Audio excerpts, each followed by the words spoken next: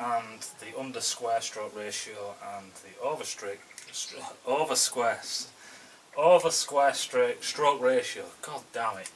And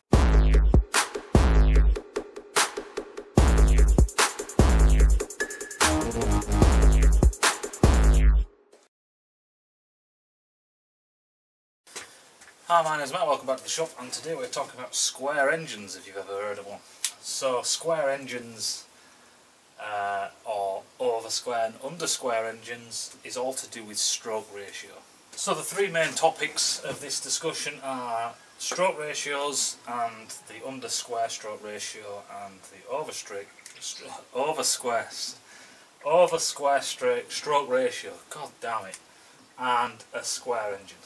So a square engine, and it's the easiest way also to describe what a stroke ratio is, is the stroke and the piston diameter. So we have our little piston, we have our crankshaft, and our crank pin is here, and for it to go from there to there, that is the stroke. And our piston diameter, or our cylinder diameter is here, and that's our cylinder ID. So it's the relationship between the two. So if this stroke here, just say is 90 millimeters and the piston width is 90 millimeters, this is what we call a square engine.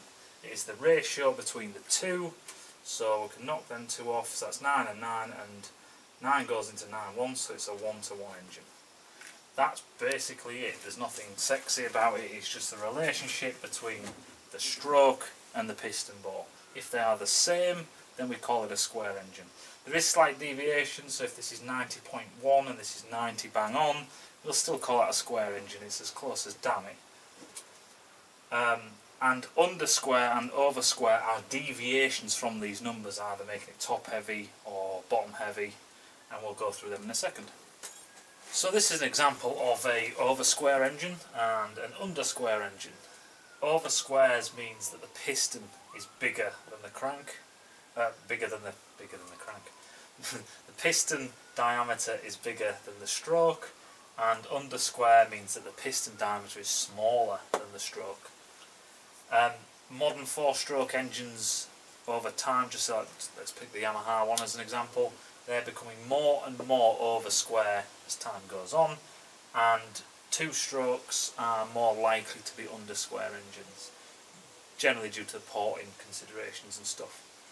Um, so let's look at each one in turn and see what are the benefits and, or the pros and cons, let's put it that way, the pros and cons of each design and why each exists. So the benefits of having a over square engine, just say like the Yamaha R1 and other sports bikes like that, is that when you have your cylinder, which is an enclosed volume of fresh fuel and air mixture, um, when the ignition takes place, and it's an ignition, it's a burn, it's not an explosion, I wish people would stop fucking saying it, um, pressure is applied to the entire cylinder, so the same pressure is applied to the cylinder head, the same pressure is applied to the cylinder walls, and the pressure is applied to the piston. Thank God for that, otherwise nothing would happen. Now, the area of this entire cylinder, especially initially when the piston's at top dead centre or near enough, is you have, that's the area of your cylinder head, then you have the area of your piston and then you have this thin slither that's the piston wall all the way wrapped around which is the same as the circumference of these circles. If you have a under square engine then you have a smaller piston, a smaller head and a strip that works all the way around the circumference which is your cylinder wall.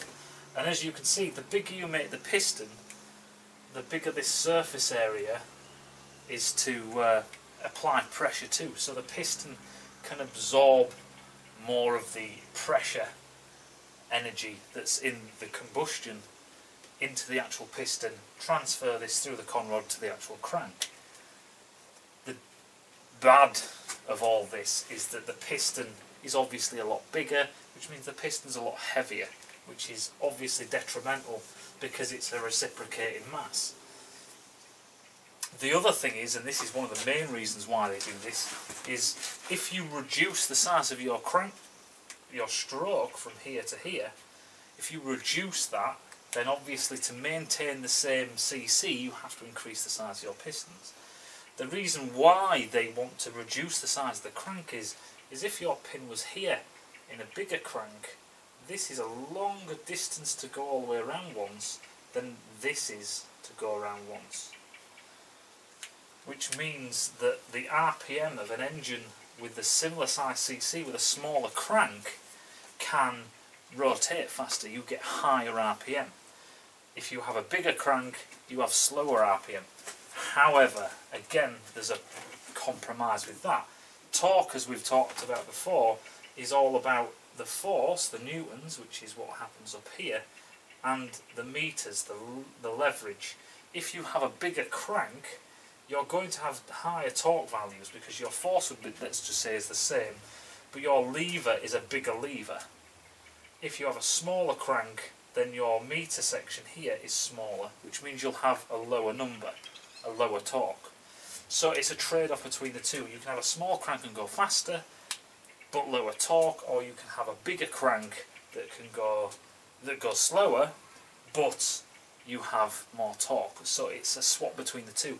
And seeing as though it's torque and um, RPM, the speed at which you go around, that equals power, they're pretty much interchangeable between the two. It's like exchanging volts for amps kind of thing, if you want to think about the exchange of one for the other.